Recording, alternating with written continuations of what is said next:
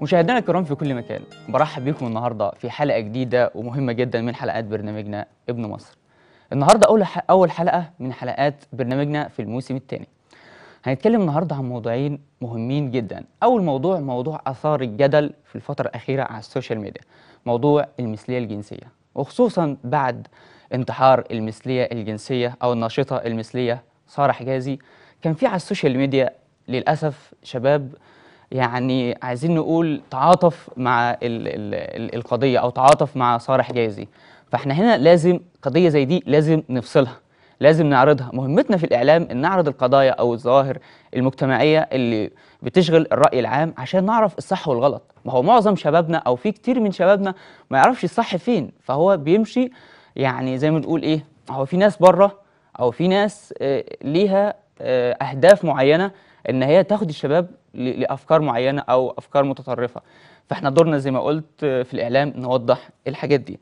طيب إحنا هنتكلم النهارده في أول في أول فقرة هنتكلم عن موضوع المثلية الجنسية طبعا وهيكون في آه، مداخلات طبعا وهنعرض الموضوع كله. والفقرة الثانية هنتكلم عن مشكلة بيعاني منها كتير جدا من أمهاتنا. للأسف موضوع أو مرض الدوالي. مرض دوالي الساقين ده آه، كتير من أمهاتنا بيعانوا آه، في طلوع السلم في المشي يعني حاجة صعبة جدا. فإحنا لازم لازم عشان دول فئة من مجتمع آه، المصري أو دول من أبناء مصر ودول أمهاتنا وعشان برنامجنا اسمه ابن مصر فلازم لازم أي مشاكل أو أي احتياجات آه، تخص ابن من أبناء مصر لازم نطرحها لازم نعرضها ونجيب متخصصين يقولوا لنا إحنا نعمل إيه. طيب في في الفقرة الثانية طبعا هيكون ضيفنا اللي هينورنا الأستاذ الدكتور أحمد آه، الدكتور أحمد آه، عهدي. تمام مصطفى. ده أخصائي آه، أخصائي ال- ال- الأمراض ال- الدموية والكلام ده وهنعرف أكتر طبعا في الفقرة الثانية فأنا خليني أتكلم في طيب خليني أتكلم في في موضوع ال- المثلية الجنسية. في كم كلمة أو كم موضوع كده عايز اطرحهم لحضراتكم بعد بعد موضوع ساره حجازي زي ما قلت شباب كتير جدا جدا اتجه إنه يغير صورة ال profile بتاعته على ال social media على الفيس وكده يخليها آه، علم ال rainbow يعني علم ال rainbow ده ده شعار المثليين الجنسيين طبعا دي قضية مرفوضة بتاتا مرفوضة في المجتمع المصري والمجتمع الشرقي. في ناس بتقول دي حرية شخصية تحت بند الحريات أنا أعمل اللي أنا عايزه. أوكي تمام. تعمل اللي أنت- عايزه حضرتك بس في حاجات في مبادئ مجتمعية أنت لازم تمشي عليها.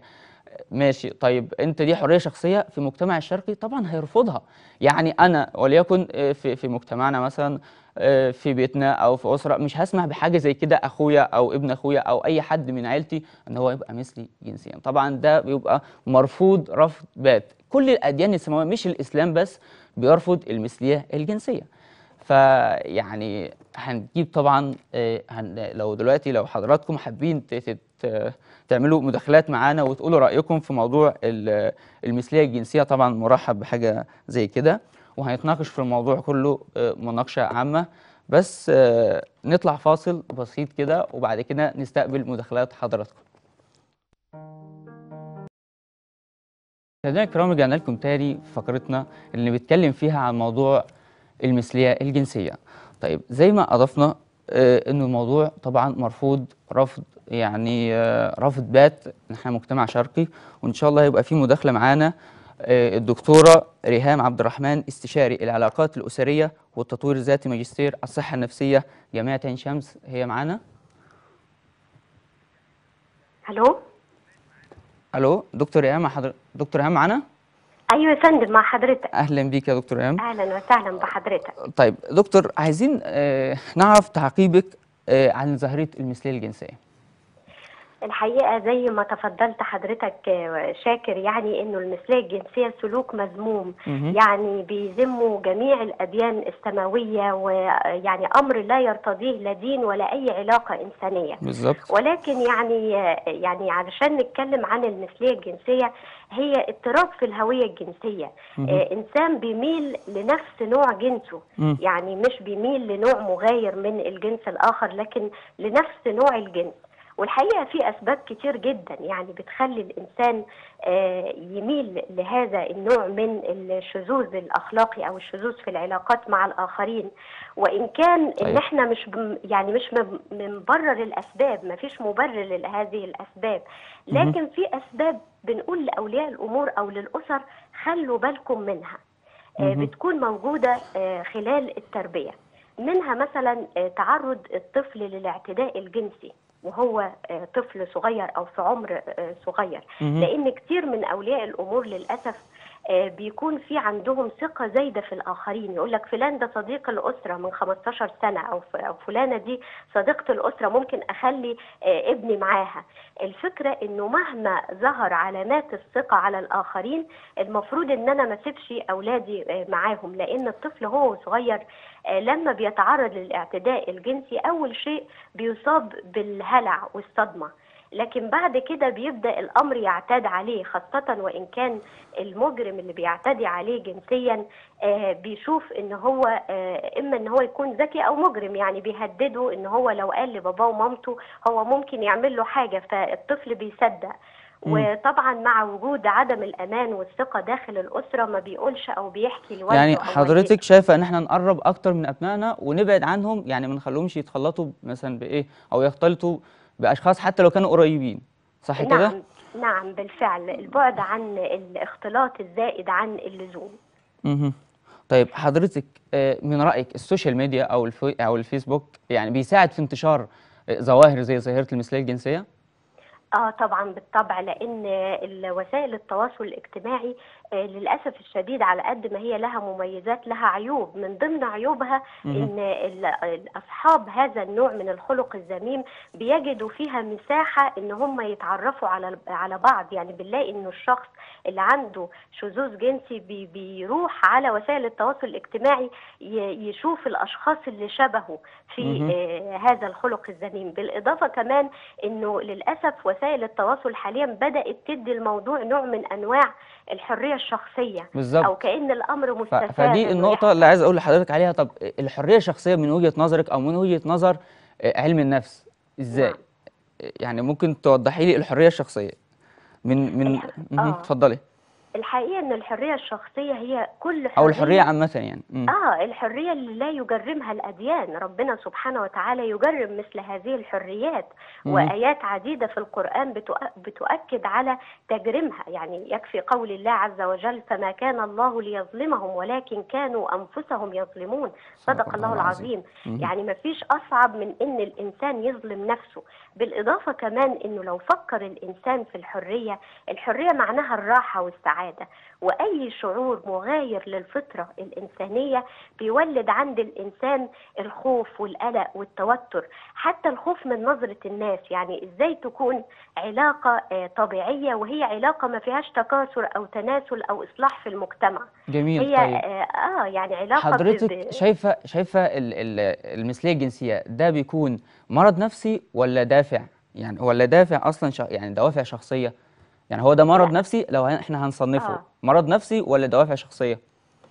هي آه، في دراسات آه، قالت إن هي دوافع شخصية وفي. دراسات أخرى قالت إن هو مرض نفسي لكن أنا بشوف إن هي مرض نفسي نتيجة لخلل في الشخصية واضطراب في الهوية الجنسية بالإضافة لاضطراب في التربية في. النفسية نفسها فمفيش دوافع تدفع الإنسان لفعل الشذوذ. يعني ممكن المجرم في بعض القضايا ممكن نقول في دوافع دفعته للجريمة.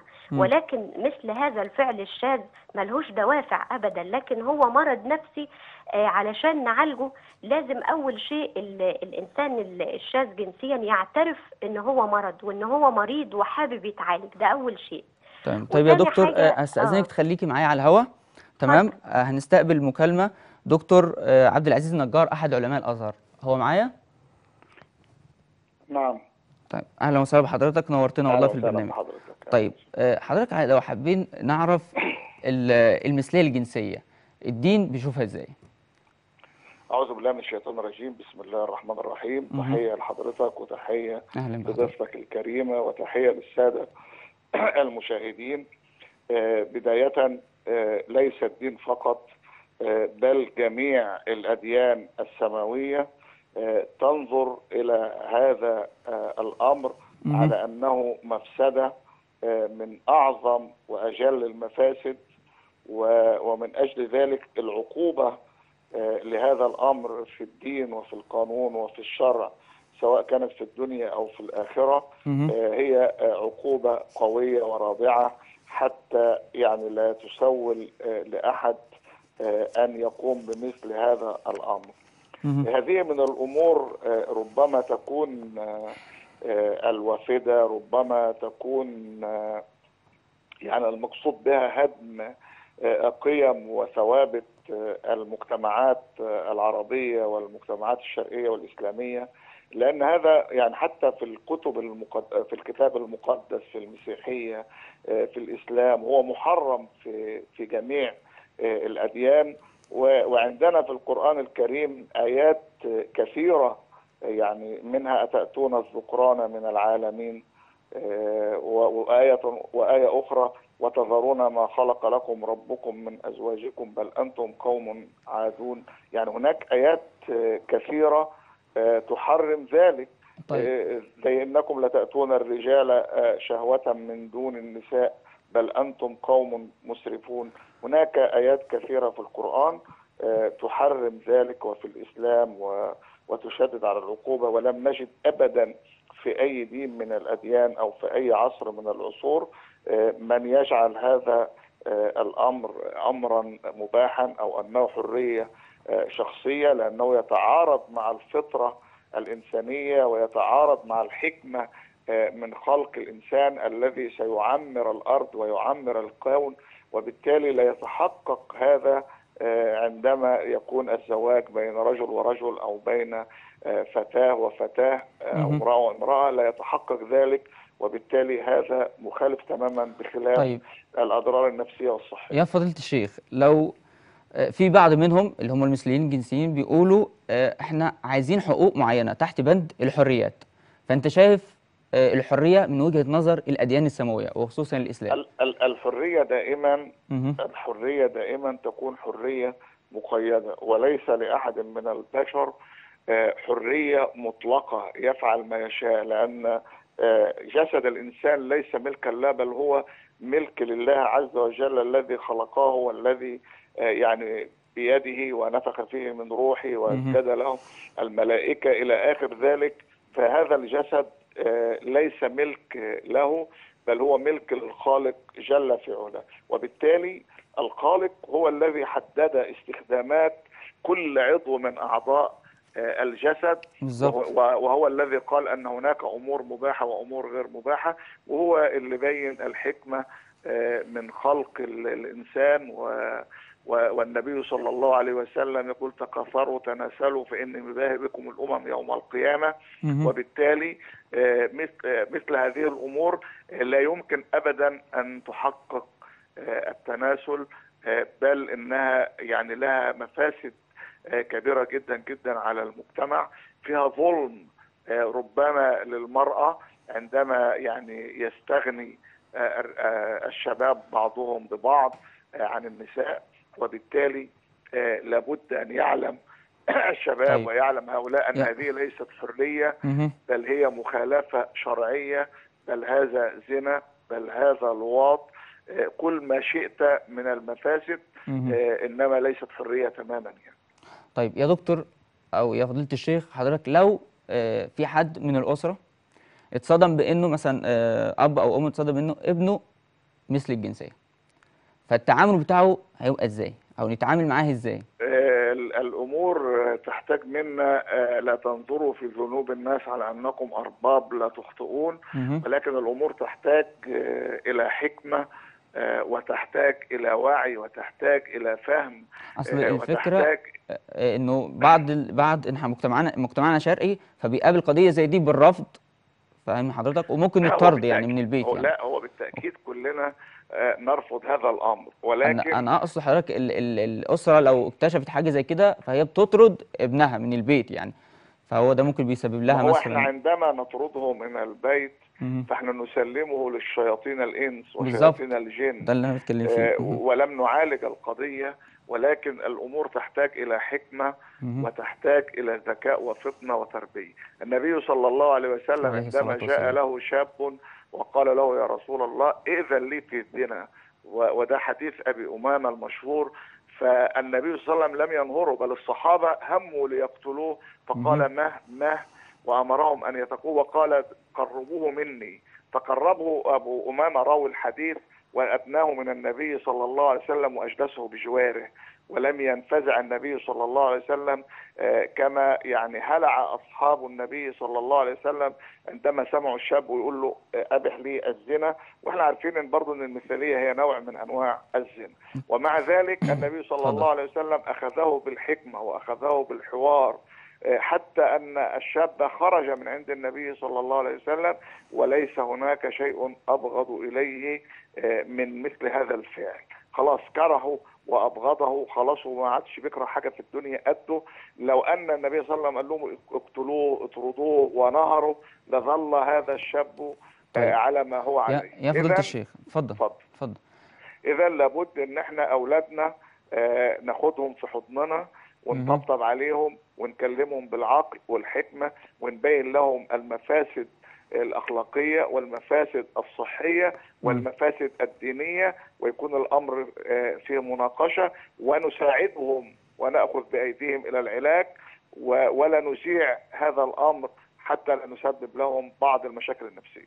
طيب أستغل إن حضرتك معايا أحد علماء الأزهر معايا دلوقتي على الهوا وانتقل معاك لنقطة تانية برضو النقطة دي أثارت جدل على السوشيال ميديا الفترة الأخيرة ونقطة التحرش اللي هو إنه آه، لبس المرأة مش سبب في التحرش والمطلوب من من الرجل أو من الشاب إن هو يغض بصره. فحضرتك توضح لنا النقطة دي بالظبط عشان حصل عليها جدل كبير جدا على ال social media الفترة الأخيرة. وفي أحد آه، علماء الأزهر قال رأيه فهو ده اللي أثار ال- ال- البلبلة دي. فحضرتك توضح لنا هو هو. ال- الإسلام لا يمكن ابدا لا يمكن ابدا أن نقول أن التحرش بأنواعه سواء كان التحرش باللفظ أو. بالفعل لأن ميادين التحرش الآن آه، صارت آه، ميادين واسعة وربما أن يكون هناك تحرش أيضا الكتروني اليوم بخلاف